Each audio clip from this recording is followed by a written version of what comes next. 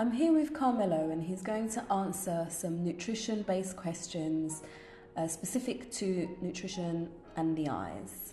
Karmelo, can you eat your way to better eyesight? That's a great question, Shifa. The short answer to that is no.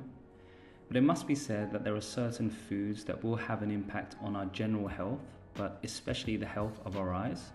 And in order to preserve the health of the eyes, eating well and avoiding certain foods um, is something that's really important. And which vitamins are important for the eyes? Well, there are a number of vitamins that are particularly important to help supplement and preserve the health of the eyes, including vitamin A, vitamin C, and E. Um, vitamin A is usually uh, something that you can get from uh, colorful foods. So I like to, as a way of remembering it, introduce the tricolor diet, which means dark griefy, uh, green leafy vegetables, things like carrots and pumpkins, um, but also the red end of the spectrum, red bell peppers, uh, for instance. Uh, vitamin E, that's your nuts, your seeds, and your beans. Um, vitamin A and E have a crucial role in keeping the cornea healthy, um, but also the retina, and particular part of the retina known as the macula, which we use for our fine detailed vision. And vitamin C, this miracle vitamin that keeps us all healthy and helps us recover from colds and flus, are required really to help the collagen that support the proteins uh, within the eyes and the various structures. Uh, the B vitamins, uh, vitamin B6, uh, B9, and B12, which you can get from broccolis and sprouts uh, and red meat. These are anti inflammatory and, of course, inflammatory eye conditions. There are a number of those, so eating anti inflammatory rich foods such as the B vitamins are very important. If you're vegetarian, then you can supplement with liquid uh, vitamin B which is widely available. Uh, most of my patients have heard about lutein and zeaxanthin, which are plant derived compounds that keep the macula healthy.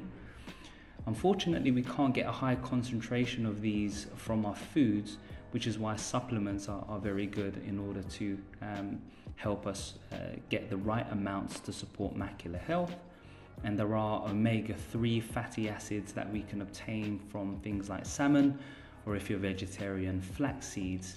These really help with dry eye disease, um, preventative uh, in, uh, increase in symptoms, and for blepharitis as well, which is an inflammatory eyelid condition that is uh, very common.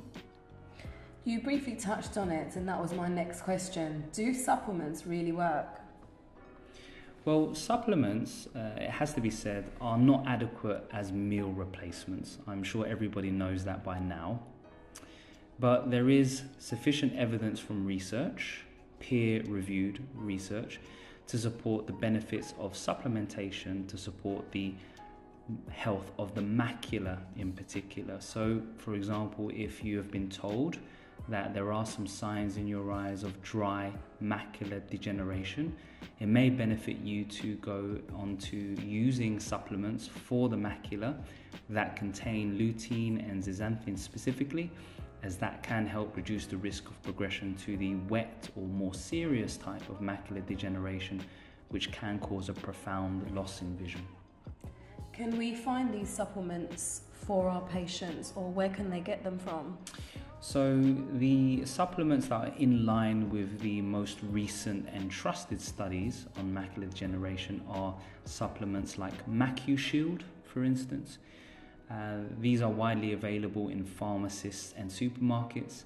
Uh, supplementation for the eyes, particularly MacuShield, doesn't come cheap, um, but it's like with everything at the moment, it's an expensive business uh, keeping ourselves healthy with supplements which is why I've made a point to uh, make sure that everybody knows the type of foods that we can eat to keep our macula healthy without supplements.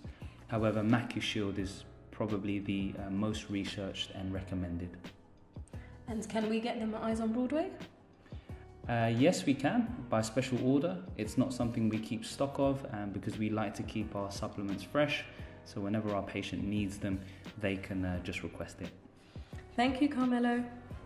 No problem.